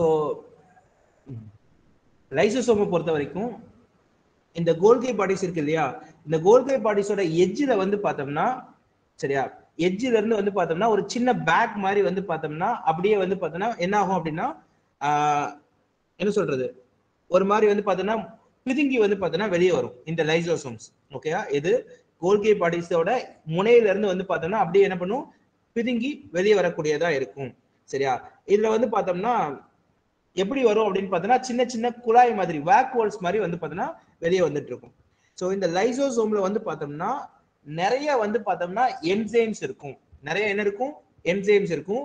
எப்படிப்பட்ட என்சைம்ஸ் அப்படின்னு சொல்லிட்டு பார்த்தீங்கன்னா ஹைட்ரோலைட்டிக் என்சைம்ஸ்னு சொல்லுவாங்க. என்ன என்சைம்ஸ் ஹைட்ரோலைட்டிக் என்சைம்ஸ் அதாவது வந்து பார்த்தீங்கன்னா நீராட் பகுக்கும் நொதிகள் இருக்கும். நீராட் பகுக்கும் நொதிகள் இருக்கும். சரியா? நீராட் பகுப்புனா என்ன அர்த்தம் அப்படின்னா ஒரு கார்போஹைட்ரேட் வருதுன்னு வைங்களேன் அந்த கார்போஹைட்ரேட்டை இப்போ கார்போஹைட்ரேட் வருது. ஏதோ ஒரு கார்போஹைட்ரேட் நிறைய கார்பன் இருக்கும் நிறைய ஹைட்ரஜன் இருக்கும். இதுல இருக்கக்கூடிய இந்த பாண்டை வந்து பார்த்தோம்னா தண்ணியை வச்சு பிரிக்கணும். ஒரு சைடு ஹச் இன்னொரு சைடு ஓஹச் வச்சு பிரிச்சு விடுறீங்க அப்படின்னா அதுக்கு பேர் தான் என்னது? நீரால் பகுத்தல். ஹைட்ரோலைட்டிக் அப்படின்னு சொல்லிட்டு பேரு. இந்த இதுகிட்ட இருக்கக்கூடிய என்சைம்ஸ் வந்து பார்த்தோம்னா இந்த மாதிரி வரக்கூடிய ஆட்களை தான் என்ன பண்ணும் அப்படின்னா இந்த மாதிரி என்ன பண்ணும்? அதுல இருக்கக்கூடிய பாண்டை வந்து பார்த்தோன்னா உடைக்கும். பாண்டை உடைக்கும் போது தான் அது என்ன பண்ணும்? டைஜஸ்ட் பண்ணக்கூடியதா இருக்கும். சரியா? ரைட்டு அடுத்து வந்து பாத்தீங்கன்னா இந்த லைசோசோமுக்கு வெளியே வந்து பார்த்தோம்னா ஒரு மெம்பரைன் இருக்கும். இந்த மெம்பரைன் தான் வந்து பார்த்தோம்னா இந்த இந்த மாதிரியான நொதிகள் வந்து பார்த்தோன்னா இந்த இதுல சுரக்கக்கூடிய நொதிகள் வந்து பார்த்தோன்னா லைசோசோமையே வந்து பார்த்தோன்னா அழிக்காம பாக்குறது எது? இந்த நொதிகள் தான். சரியா? இதோட ஸ்ட்ரக்சர் எப்படி இருக்கும் அப்படின்னா இட் இஸ் லைக் திஸ் இந்த மாதிரி ஒரு ஸ்பெரிக்கல் ஷேப்ல இருக்கும். சரியா? ஸ்பெரிக்கல் ஷேப்ல இருக்கும். இந்த ஸ்பெரிக்கல் ஷேப்ல இங்க ஃபுல்லா வந்து பார்த்தோம்னா என்ன இருக்கும்னா நம்ம இந்த பிளாஸ்மா மெம்பரேன்ல பார்த்தோம்ல பிளாஸ்மா சபுல பார்த்தோம் இல்லையா? வெளியே வந்து பார்த்தோம்னா லிப்பிடுகளா இருக்கும். நிறைய லிப்பிடுகளா இருக்கும். சரியா? உள்ள வந்து பார்த்தோம்னா அந்த என்சைம்ஸை சுரக்கக்கூடிய அந்த கலவை இருக்கும். சரியா? ஹைட்ரோலைட்டிக் என்சைமோட மிக்சர்ஸ் இருக்கும். இதுதான் வந்து பார்த்தோன்னா இதுக்கு வெளியே வந்து ஒரு லேயர் மாதிரி இருக்கும். சம்திங் லைக் ஒரு லேயர் மாதிரி இருக்கும். இது லைசோசோமோட வந்து பார்த்தோம்னா லிப்பிட் அடுக்கு அப்படின்னு சொல்லிட்டு சொல்லுவாங்க. இந்த லேயர் என்ன சொல்லுவாங்க? லிப்பிட் லேயர் அப்படின்னு சொல்லிட்டு சொல்லுவாங்க. சரி. ஸோ இதோட மெயின் ஃபங்க்ஷன் என்னன்னு பார்த்தீங்கன்னா intra cellular digestion intra cellular digestion அதாவது செல்லுக்குள்ளேயே வந்து பார்த்தோம்னா என்ன பண்ணும் அப்படின்னு பார்த்தீங்கன்னா செரித்தல் நடக்கிறதுக்கு காரணமா இருக்கும். செல்லுக்குள்ளேயே செரித்தல் நடக்கிறதுக்கு. அதே மாதிரி வந்து பாத்தீங்கன்னா ஆட்டோபாஜி அப்படிங்கிற ஒரு முக்கியமான ப்ராப்பர்ட்டி இருக்கும். ஆட்டோபாஜி தான் நம்ம என்ன சொல்றோம்? இந்த சூசைடல் பேக்ஸ்ன்னு சொல்றோம். அதாவது வந்து பாத்தீங்கன்னா சுய அழிவு சரியா? இதுக்குள்ள இருக்கக்கூடிய வந்து பார்த்தோம்னா மைட்டோகாண்ட்ரியா என்டோபிளாசம் கட்டிக்குலம் இதெல்லாமே வந்து என்ன பண்ணும் அப்படின்னா ஒரு சில சுச்சுவேஷன்ல என்ன பண்ணிடும் அப்படின்னா டைஜஸ்ட் பண்ணி கொன்றும். சரியா? அதாவது வந்து பார்த்தீங்கன்னா வெறும் ஃபுட் மெட்டீரியலை மட்டும் டைஜஸ்ட் பண்ணாம ஒரு சில செல் ஆர்கனலாஸே என்ன பண்ணிடும் அப்படின்னு பாத்தீங்கன்னா இது என்ன பண்ணும்? டைஜஸ்ட் பண்ணி அதை அதே அடிச்சிடும் ஓகேயா அடுத்து வந்து பார்த்தோம்னா ஆட்டோலைசிஸ். ஆட்டோலைசிஸ். ஆட்டோலைசிஸ் அப்படின்னா சுய அலி சிதைவு சுய சிதைவு அப்படின்னா ஆட்டோ பாஜி சரியா? சுய சிதைவுன்னு சொல்லுவோம். ஆட்டோலைசிஸ் அப்படின்னா சுய சிதைவு. சுய சிதைவு. சுய சிதைவு அப்படின்னா என்ன அர்த்தம்னா இதுக்குள்ள ஏதாச்சும் வந்து பார்த்தோம்னா ஒரு இன்ஃபெக்ட் பண்ணக்கூடிய நோய் நோயை ஏற்படுத்தக்கூடிய ஏதாச்சும் ஒரு செல் வந்துச்சு அப்படின்னா அதை என்ன பண்ணும் அப்படின்னா டைஜஸ்ட் பண்ணும். சரியா? செல்ஃப் டிஸ்ட்ரக்ஷன் பண்ணும். ஓகே செல்கள் வந்து பார்த்தோம்னா தன்னைத்தானே அழிச்சுக்கிறதுக்கு வந்து பார்த்தீங்கன்னா இந்த லைசோசோம்ஸ் தான் என்ன பண்ணும்? ஹெல்ப் பண்ணும். ஒரு செல் வந்து பார்த்தோம்னா டிசீஸ்னால இதாயிருச்சு அப்படின்னா அந்த செல் தன்னைத்தானே அழிச்சுக்கிறதுல இந்த லைசோசோம் தான் என்ன பண்ணும்? ஹெல்ப் பண்ணும். அதே மாதிரி வந்து பார்த்தோம்னா உள்ள இருக்கக்கூடிய வந்து பார்த்தோம்னா இப்போ வந்து பாத்தீங்கன்னா செல்லுக்கு உள்ள இருக்கக்கூடிய மூலக்கூறுகள் இருக்கும் இல்லையா? அதை வந்து பாத்தீங்கன்னா எதெல்லாம் வந்து பாத்தீங்கன்னா போய் டிஸ்ட்ரக்ட் பண்ணுமோ அதெல்லாம் வந்து பாத்தீங்கன்னா ரொம்ப ஏஜ் ஆயிடுச்சு அப்படின்னா ரொம்ப பழைய செல்களா இருந்து மூலக்கூறுகளா இருந்துச்சுன்னா அதை போய் டிஸ்ட்ரக்ட் பண்றதுக்கு இந்த லைசோசோம் தான் என்ன பண்ணும்? ஹெல்ப் பண்ணும். அதே மாதிரி வந்து பார்த்தோம்னா அடுத்து முக்கியமான ஒரு இதுதான் என்ன? பேக்கோசைட்டோசிஸ் அப்படின்னு சொல்லி சொல்லுவோம். பேக்கோசைட்டோசிஸ் அந்த பண்பு. ஸோ இந்த பேக்கோசைட்டோசிஸ் அப்படின்னா என்ன அர்த்தம்னா இந்த லைசோசோம்ல இருந்து வெளியே போகக்கூடிய பெரிய பெரிய செல்கள் எல்லாமே வந்து பாத்தீங்கன்னா சரியா? லைசோசோமோட லைசோசோமோட என்சைம்ஸ் இருக்கு இல்லையா? அது வந்து பாத்தீங்கன்னா செல்லுல இருந்து வெளியே போகும்போது அது மற்ற செல்களை என்ன பண்ணும் அப்படின்னு பாத்தீங்கன்னா இது- இது பண்ணும் சாரி லைசோசோம்ல இருக்கக்கூடிய இப்போ வந்து உதாரணத்துக்கு வந்து பாத்தீங்கன்னா பெரிய பெரிய செல்கள் இருக்குது அப்படின்னா பெரிய பெரிய லார்ஜ் செல்ஸ் இருக்குது அப்படின்னா அதை என்ன பண்ணும் அப்படின்னா இந்த லைசோசோல்ஸ் என்ன பண்ணும் அப்படின்னா இந்த லைசோசோம் என்ன பண்ணும்? உள்ள விழுங்கி அதை டைஜஸ்ட் பண்ணிடும் சரியா? சரியா? டைஜஸ்ட் பண்ணி பேக்கோசோம் அப்படிங்கிற ஒரு இதை உருவாக்கும். பேக்கோசோம் அப்படிங்கிற இதை உருவாக்கும். இந்த பேக்கோசோம் என்ன பண்ணும் அப்படின்னு பாத்தீங்கன்னா இதுவும் லைசோசோமோட சேர்ந்து ஃபர்தரா வரக்கூடிய டைஜஷனுக்கு ஹெல்ப் பண்ணும். ஏன்னா இந்த பேக்கோசைட்டோசிஸ் அப்படிங்கிற ப்ராசஸ் என்னன்னா இந்த லைசோசோம் அது இருக்கக்கூடிய செல்லையே அப்படியே முழுங்கி சரியா? அப்படியே முழுங்கி பேக்கோசோம் அப்படிங்கிற ஒரு பொருளை உருவாக்கும். இந்த பேக்கோசோம் என்ன பண்ணும் அப்படின்னா வெளியே இந்த பேக்கோசோம் சைட்டோபிளாஸ்டுக்கு வெளியே வந்தோடனே செல்லோட சைட்டோபிளாஸ்ட்ல வந்தோடனே இந்த பேக்கோசோமும் சைட்டோசோமும் லைசோசோமும் சேர்ந்து டைஜஷன்ல இன்வால்வ் ஆகும். அடுத்து வந்து பாத்தீங்கன்னா எக்ஸோசைட்டோசிஸ் சரியா? அடுத்து என்ன? எக்ஸோசைட்டோசிஸ். எக்ஸோசைட்டோசிஸ்னா புறந்தள்ளல். புறந்தள்ளல் புறந்தள்ளல்னா என்ன அர்த்தம்னா இந்த லைசோசோம்ல இருந்து வரக்கூடிய இந்த என்சைம்ஸ் வந்து பார்த்தோம்னா செல்லுக்கு வெளியே போகும்போது லைசோசோம்ல இருந்து வெளியே வரக்கூடிய நொதிகள் செல்லுக்கு வெளியே போகும்போது அது என்ன பண்ணும்? மத்த செல்லை வந்து பார்த்தோம்னா அழிக்கக்கூடியதா இருக்கும். மத்த செல்லை அழிக்கக்கூடியதா இருக்கும். ஓகேயா லைசோசோம் கிளியரா ஸோ இந்த புக்ல கொஞ்சம் தான் இருக்குது. உங்க டெக்ஸ்ட் புக்ல இருந்து நான் எடுத்து சொல்லியிருக்கிறேன். இந்த இந்த மெட்டீரியல் இல்லாம கொஞ்சம் ஒரு சில விஷயங்கள் லைசோசோம் கொஞ்சம் இம்பார்ட்டன்ட் காம்பனண்ட்ங்கிறதால டெக்ஸ்ட் புக்ல இருக்கக்கூடிய இன்ஃபர்மேஷன்ஸையும் சேர்த்து சொல்லியிருக்கேன் சரியா? இதுல இருக்கிறது போக என்சிஆர்டி போக லைசோசோம்ஸை டெக்ஸ்ட் புக்லையும் ரெஃபர் பண்ணிக்கோங்க. அடுத்து வந்து பாத்தீங்கன்னா வேக்வோல்ஸ் சரியா? என்ன? வேக்வோல்ஸ்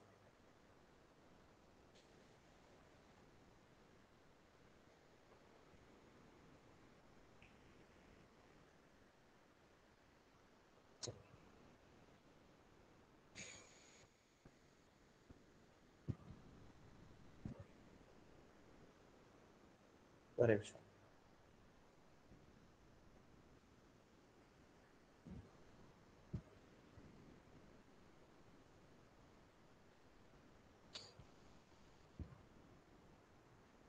சைட்டோபிளாஸ் லைசோசோம் ஏதாவது டவுட் இருக்கா? லைசோசோம் கிளியர் தானே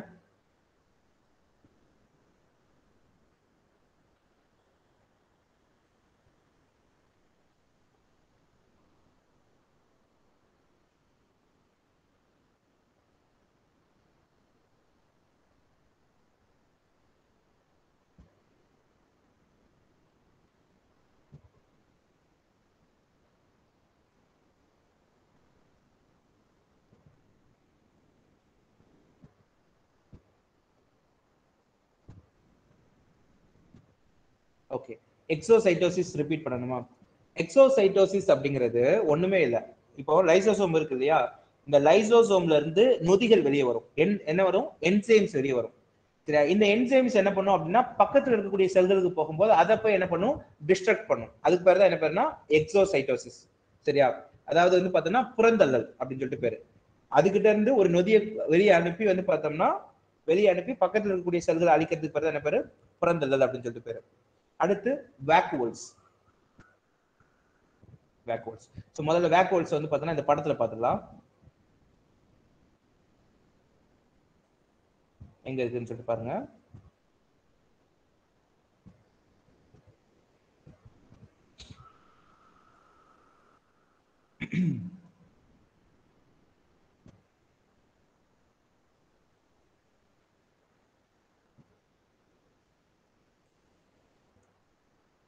இங்க பாத்தீங்கன்னா தெரியும் உங்களுக்கு. தாவர செல்ல விலங்கு செல்ல அவ்வளவு பெருசா தான் இருக்காது. விலங்கு செல்ல பாத்தீங்கன்னா இந்த வேக்குவல்கள் அப்படிங்கிறது பெருசா இருக்காது. கம்மியா தான் இருக்கும். இந்த தாவர செல்கள்ல தான் வந்து பார்த்தோம்னா இந்த வேக்குவல்கள் இருக்கும். சரியா? தாவர செல்கள்ல தான் என்ன இருக்கும்? பிளான் செல்ஸ்ல தான் இவ்வளோ பெருசா வேக்குவல்ஸ் இருக்கும். நைன்டி பர்சன்டேஜ் பிளேஸை வந்து பார்த்தோம்னா இந்த வேக்குவல்ஸ் தான் என்ன பண்ணும் அப்படின்னா ஆக்குபை பண்ணும். Ninety percentage of plant cell வந்து யாரு? வேக்குவல்களாக தான் இருக்கும். சரியா? சைட்டோபிளாஸ்டத்தை விட அதிகமா காணப்படும். இதுக்கு வெளியில ஒரே ஒரு சிங்கிள் லேயர் தான் இருக்கும். அந்த சிங்கிள் லேயருக்கு என்ன பேர் அப்படின்னு பாத்தீங்கன்னா டோனோபிளாஸ்ட் அப்படின்னு சொல்லிட்டு பேரு. என்ன பேர் அப்படின்னா டோனோபிளாஸ்ட் அப்படின்னு சொல்லிட்டு பேரு.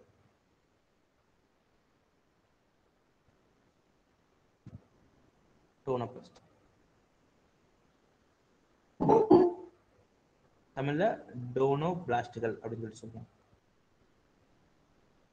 ஓகேயா?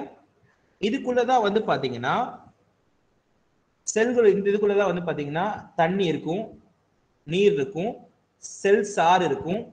அப்புறம் வந்து பார்த்தோம்னா செல்ல இருக்கக்கூடிய எல்லா வேஸ்டையும் வந்து பார்த்தோம்னா இதுக்குள்ளதான் போட்டு வைப்போம். சரியா? ஒன்று பார்த்தோம்னா இதை வந்து என்ன சொல்லுவாங்கன்னா வேஸ்ட் டெபாசிட் பின் அப்படின்னு கூட சொல்லுவாங்க. செல்களில் இருக்கக்கூடிய குப்பையை போட்டு வைக்கக்கூடிய குப்பை தட்டின்னு கூட இதை சொல்லுவாங்க. ஓகேயா ம். யூஸ்வலா வந்து பாத்தீங்கன்னா ஆஹ் இந்த செல்லோட சார் இருக்கு பாத்தீங்கன்னா செல் சேப்னு சொல்லுவாங்க. இந்த செல் சார்ல வந்து பாத்தீங்கன்னா சுகர் இருக்கும் அமினோ ஆசிட்ஸ் இருக்கும் அப்புறம் வந்து பாத்தீங்கன்னா மினரல்ஸ் இருக்கும் அப்புறம் வந்து பாத்தீங்கன்னா கெமிக்கல்ஸ் இருக்கும் ஆஹ் அப்புறம் வந்து பாத்தீங்கன்னா பிக்மெண்ட்ஸ் இருக்கும். சரியா? என்ன இருக்கும்? பிக்மெண்ட்ஸ் நிறமிகள் இருக்கும். ரைட்டா இதெல்லாம் வந்து பாத்தீங்கன்னா எதுல தான் இருக்கும் அப்படின்னு பாத்தீங்கன்னா இந்த செல்லோட ஷேப்ல தான் இருக்கும். இந்த செல்லோட ஷேப் எல்லாமே எதுக்குள்ள இருக்கும் அப்படின்னு பாத்தீங்கன்னா இந்த வேக்குவலுக்குள்ள தான் இருக்கும். செல்லோட ஷேப்னா செல்லோட சாருன்னு சொல்லலாம். ஸோ இந்த செல்லோட சார்ல தான் சுகர் சர்க்கரை இருக்கும். அமினோ ஆசிட் இருக்கும் அமினோ அமிலங்கள் இருக்கும். அப்புறம் வந்து பார்த்தீங்கன்னா மினரல்ஸ் இருக்கும். தனி தனிமங்கள் இருக்கும். வேதிய கழிவுப் பொருட்கள் இருக்கும். சரியா? வேதிய கழிவுப் பொருட்கள் இருக்கும். அப்புறம் நிறமிகள் இருக்கும். சரியா? என்ன நிறமிகள்னா ஆந்தோசயனின் நிறமிகள் அப்படின்னு சொல்லிட்டு கூடிய நிறமிகள் இருக்கும். ஸோ இதுல எஸ்பெஷலி வந்து பாத்தீங்கன்னா பீட்ரூட் எடுத்துக்கிட்டீங்க அப்படின்னா பீட்ரூட்டோட பிளான்ட் செல்ல இருக்கக்கூடிய வேக்குவல்கள்ல இந்த ஆந்தோசைனின் நிறமி வந்து பாத்தீங்கன்னா ஜாஸ்தியா இருக்கும். ஓகேயா அதே மாதிரி வந்து பாத்தீங்கன்னா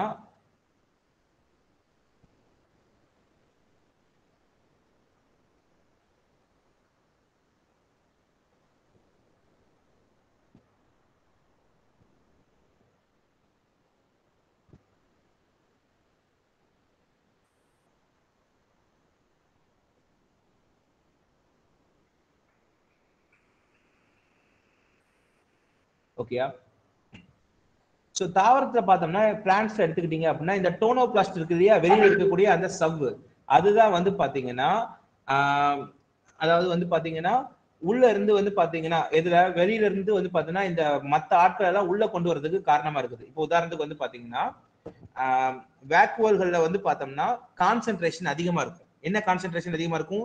நீங்க உள்ள எதை போட்டு வச்சிருந்தீங்க அப்படின்னாலும் அதோட அந்த சாரோட செறிவு வந்து அதிகமா இருக்கும். ஏன்னா உள்ள எல்லா குப்பையும் உள்ளதா இருக்குது. அப்ப வெளியில இருக்கக்கூடிய பியூரான பொருட்கள் எல்லாமே வந்து பாத்தீங்கன்னா எதெல்லாம் உள்ள போகணும்னு நினைக்குதோ அது எல்லாமே என்ன ஆகும் அப்படின்னு பாத்தீங்கன்னா உள்ள டிரான்ஸ்ஃபர் ஆகிடும். சரியா? சோ இந்த டோனோ பிளாஸ்ட் தான் என்ன பண்ணுது அப்படின்னு பாத்தீங்கன்னா உள்ள இருக்கக்கூடிய சரியா? கான்சென்ட்ரேஷன் உள்ள இருக்கக்கூடிய மெட்டீரியல்ஸ் இருக்கு இல்லையா? அதுக்குன்னு சொல்லிட்டு ஒரு செறிவு இருக்கும். கான்சென்ட்ரேஷன் இருக்கும். இந்த கான்சென்ட்ரேஷன் இருந்துச்சு அப்படின்னா வெளியில இருந்து பொருட்கள் உள்ள வர்றதுல டிஃபிகல்டிஸ் இருக்கும். அதை வந்து பார்த்தோம்னா ஈஸி பண்ணி கொடுக்கறது யார் அப்படின்னு பாத்தீங்கன்னா இந்த டோனோ பிளாஸ்ட் தான். சரியா? அடுத்து வந்து பாத்தீங்கன்னா அமீபால எடுத்துக்கிட்டீங்க அப்படின்னா கான்ட்ராக்டைல் வேக்குவல் அப்படின்னு சொல்லிட்டு ஒன்று இருக்கும். இந்த கான்ட்ராக்டைல் வேக்குவல் தான் வந்து பாத்தீங்கன்னா அமீபால சரியா?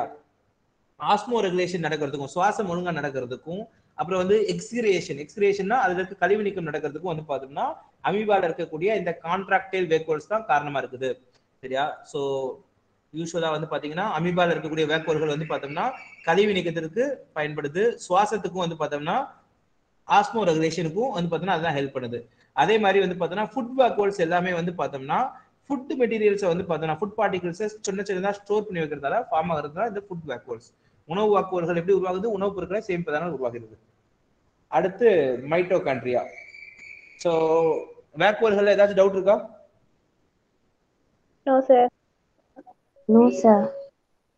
ஜஸ்ட் இன்ஃபர்மேஷன் தான். நீங்க அப்படியே ரீட் பண்ணீங்கன்னா உங்களுக்கே நைன்டி பெர்சன்டேஜ் புரியும். சரியா? எது எதெல்லாம் முக்கியமான பாயிண்ட் அதை மட்டும் நோட் பண்ணிக்கிட்டீங்கன்னா போதும். ரீட் பண்ணி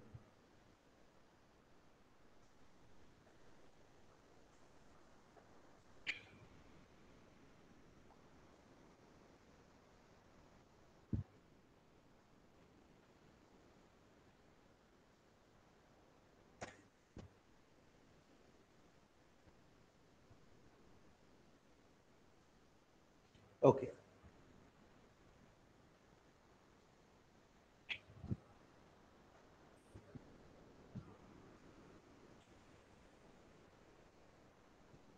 டோனோபிளாஸ்ட் திருப்பி சொல்லணுமா?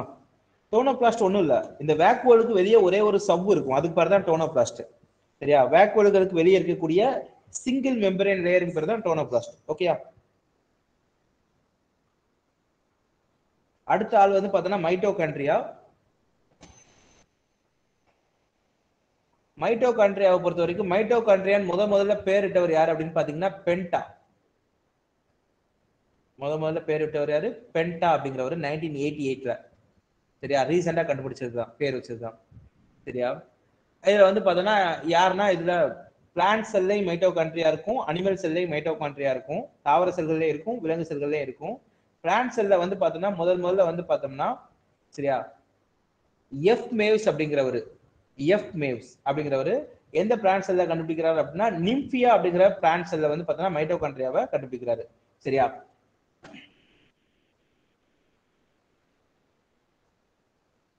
ஸோ இந்த மைட்டோகாண்ட்ரியாவை ஸ்டெயின் பண்ணால் மட்டும்தான் நீங்கள் என்ன பண்ண முடியும் அப்படின்னு பார்த்தீங்கன்னா மைக்ரோஸ்கோப் வழியாக பார்க்க முடியும்.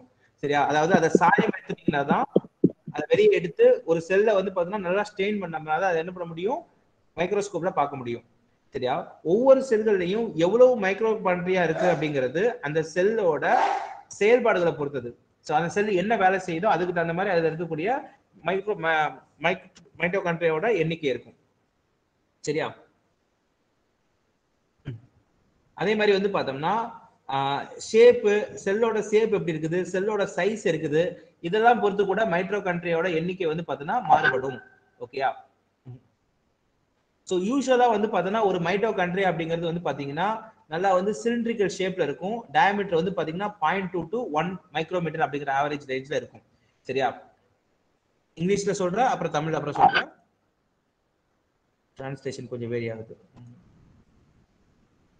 ஓகே ஒவ்வொரு மைட்டோகாண்ட்ரியாலையும் எடுத்துக்கிட்டீங்க அப்படின்னா வெளியில வந்து பாத்தீங்கன்னா ஒரு மெம்பரைன் பவுண்ட் ஸ்ட்ரக்சர் இருக்கும். ஒரு சவ் இருக்கும்.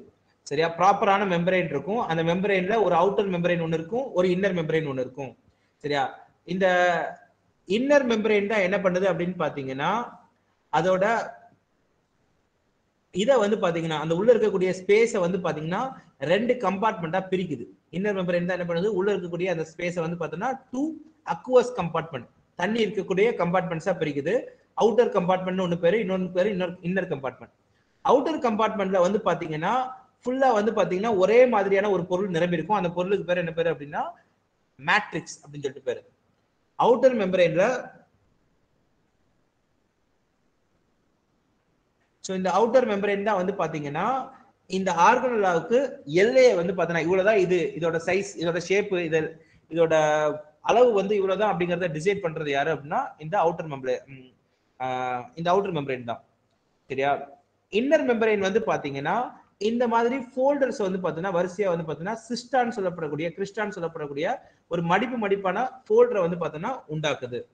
இந்த கிறிஸ்டா வந்து பாத்தீங்கன்னா இந்த இப்படி மடிச்சு மடிச்சு இருக்கும்போது அதோட சர்ஃபேஸ் ஏரியா வந்து பாத்தீங்கன்னா பெருசா வச்சுக்கும். இப்படி வந்து சிங்கிளா இருக்கிறத விட இப்படி சிங்கிளா இருக்கிறத விட இப்படியே இருக்கும்போது இந்த மாதிரி மடிச்சு மடிச்சு இருக்கும்போது இதோட சர்ஃபேஸ் ஏரியா வந்து பார்த்தீங்கன்னா ஜாஸ்தியா இருக்கும். பரப்பளவு வந்து பார்த்தீங்கன்னா அதிகமான பரப்பா இருக்கும். அதே மாதிரி வந்து பார்த்தீங்கன்னா ரெண்டு மெம்பரைன் வந்து பார்த்தோம்னா இருக்கும். அதுல வந்து பார்த்தீங்கன்னா ஒன்று வந்து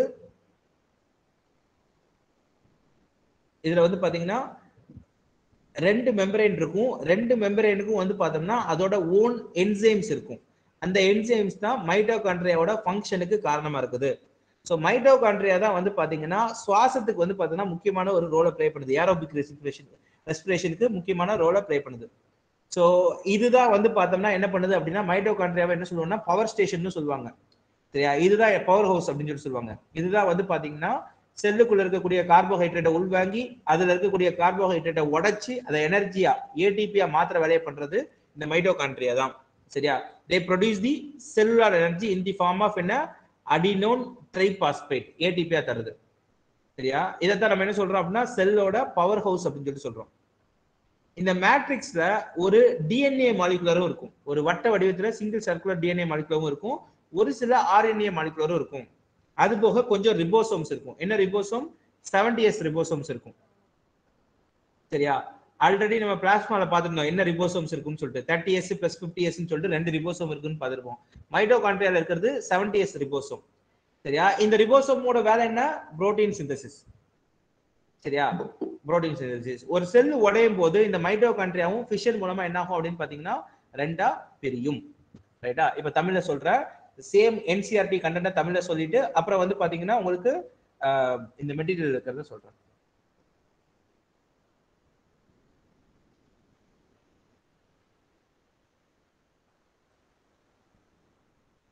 ஸோ மைட்டோகாண்ட்ரியாவை எடுத்துக்கிட்டீங்க அப்படின்னா ஒவ்வொரு செல்கள்லையும் அதோட செயல்பாடுகள் எப்படி இருக்குது அப்படிங்கிறதுக்கு தகுந்த மாதிரி அதோட வடிவம் இருக்கும்.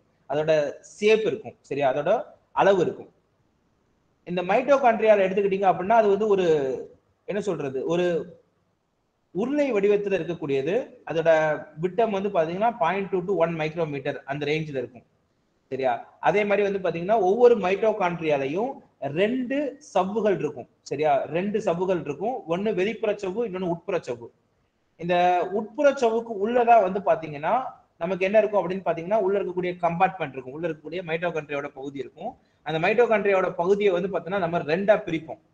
சரியா? ரெண்டு இதா பிரிப்போம். ஒரு இது வந்து பாத்தீங்கன்னா நமக்கு என்ன இருக்கும் அப்படின்னு பாத்தீங்கன்னா ஒரு பகுதியில ஃபுல்லாவே வந்து பாத்தீங்கன்னா மேட்ரிக்ஸ்னு ஒண்ணு இருக்கும். என்ன இருக்கும்? மேட்ரிக்ஸ் அப்படின்னு சொல்லிட்டு ஒண்ணு இருக்கும். இன்னொரு பகுதியில வந்து பாத்தீங்கன்னா கிறிஸ்டான்னு ஒண்ணு இருக்கும். சரியா? என்ன இருக்கும்? கிறிஸ்டா இந்த கிறிஸ்டா வந்து பாத்தீங்கன்னா இப்படி மடிச்சு மடிச்சு இருக்கும். ஓகேயா? கிறிஸ்டா எப்படி இருக்கும் அப்படின்னு பாத்தீங்கன்னா மடிச்சு மடிச்சு இருக்கும். மடிப்புகள்னு சொல்லலாம் இத. சரியா? உற்சவு மடிந்து காணப்படும். அதுக்கு பேர் என்ன பேரு? கிறிஸ்டான்னு சொல்லிட்டு பேரு. இதுதான் வந்து பாத்தீங்கன்னா காற்றுள்ள சுவாசத்தின் மையமாக. இது ஒரு தேர்வு கடத்தும் சவு தேர்வு கடத்தும் சவுனா செலக்டிவ் பெர்மியபிள் மெம்பரே இது வழியா ஒரு சில ஆட்கள் உள்ள போகும் ஒரு சில ஆட்கள் உள்ள போகாது. ஸோ செல்லுக்கு தேவையான ஆற்றலை வந்து பார்த்தோம்னா ஏடிபி அடிவில் இது தர்றதால இதைத்தான் என்ன சொல்றோம்? செல்லோட ஆற்றல் மையம் ஆற்றல் நாணயம் அப்படின்னு சொல்லலாம். சரியா? ஓகே அடுத்து வந்து பார்த்தோம்னா இதுல இருக்கக்கூடிய இந்த கிறிஸ்டே அப்புறம் வந்து பார்த்தோம்னா மைட்டோகாண்ட்ரியாவோட உட்புற சுவர்கள்ல வந்து பார்த்தோம்னா F zero to F one அப்படிங்கிற துகள்கள் அல்லது அடிப்படை துகள்கள்னு சொல்லுவோம். இதை என்ன சொல்லுவாங்கன்னா ஆக்சிசோம்னு சொல்லுவாங்க. இதுல கிறிஸ்டேக்கு உள்ள இருக்கக்கூடிய உட்புற சுவர்கள்ல ஆக்சிசோம்கள் இருக்கும். இந்த ஆக்சிசோம்கள் தான் வந்து பார்த்தோம்னா ஆக்சிஜனேற்ற பாஸ்பரினேற்றத்துக்கு ஹெல்ப் பண்ணும். சரியா? இந்த ஆக்சிசோம்ல வந்து பாத்தீங்கன்னா ஒரு தலைப்பகுதி இருக்கும் ஒரு காம்பு இருக்கும் ஒரு அடிப்பகுதி இருக்கும். சரியா? அதாவது எஃப் ஒன் ஆக்சிசோம்ல எஃப் ஒன் அப்படிங்கிறது. எஃப் ஜீரோ அப்படிங்கிறது வந்து பாத்தீங்கன்னா புரோட்டான் இருக்கும். அதுல ஒரு தலைப்பகுதி வந்து பாத்தீங்கன்னா ஏடிபிஎஸ் ஏடிபி அப்படிங்கிற நொதியையும் வச்சிருக்கோம். ஏடிபிஎஸ் அப்படிங்கிற நொதியை வச்சிருக்கோம். இங்க பாத்தீங்கன்னா தெரியும். இது வெளிப்புற சவ்வு அப்புறம் உட்புற சவ்வு. உட்புற சவ்வுக்கு உள்ள மேட்ரிக்ஸ் இருக்கும். அப்புறம் அந்த மடிப்பு மாதிரி கிறிஸ்டே இருக்கும். சரியா? ஸோ இதுல இருக்கக்கூடிய ரிபோசோம்ல பாத்தீங்கன்னா எழுபது எஸ் வகையிலான ரிபோசோம் இருக்கும். இந்த ரிபோசோம் தான் மைட்டோகாண்ட்ரியால புரதச்சேர்க்கை நடைபெறதுக்கு காரணமா இருக்குது. செல்லு பிரியும் போது மைட்டோகாண்ட்ரியாவும் என்ன ஆகும் அப்படின்னா உடஞ்சி ரெண்டா பிரிஞ்சு வெளியே போயிடும் ஓகேயா அதே மாதிரி இந்த மைட்டோகாண்ட்ரியா வந்து பாத்தீங்கன்னா என்ன கலர்ல இருக்கும்னா மஞ்சள் கலர்ல இருக்கும். சரியா மேங்கனீஸ் அதிகமா இருக்கிறதால வந்து பார்த்தோம்னா இது எல்லோ மாதிரியான கலர்ல இருக்கும். அடுத்து வந்து பாத்தீங்கன்னா பிளாஸ்டிக்ஸ் மைட்டோகாண்ட்ரியா வந்து பிளான்ட் செல்லையும் இருக்கும் அனிமல் செல்லையும் இருக்கும். தாவர செல்கள்லையும் இருக்கும் விலங்கு செல்கள்லையும் இருக்கும். ஸோ அடுத்து இருக்கிறது யாருன்னா பிளாஸ்டிக்ஸ் ஸோ இதுக்கப்புறம் நமக்கு என்னெல்லாம் இருக்கு அப்படின்னு பாத்தீங்கன்னா பிளாஸ்டிக்ஸ் இருக்குது. பனி பசுங்கணிகங்கள் இருக்குது. அப்புறம் வந்து பார்த்தோம்னா ரிபோசோம்ஸ் தனியா பார்க்கணும். ரிபோசோம் பார்த்து முடிச்சதுக்கு அப்புறம் சென்ட்ரோசோம் பார்க்கணும். சென்ட்ரோசோம் சென்ட்ரியோசோம் பார்க்கணும். அப்புறம் நியூக்ளியஸ் பார்க்கணும். இந்த நியூக்ளியஸ் பார்த்து முடிச்சோம் அப்படின்னா இந்த லெசன் முடியும். சரியா? ஸோ சின்ஸ் வந்து பார்த்தீங்கன்னா கொஞ்சம் டைம் ஆயிடுச்சு அப்படிங்கிறதால இதை வந்து இந்த போர்ஷனை நாளை கண்டினியூ பண்ண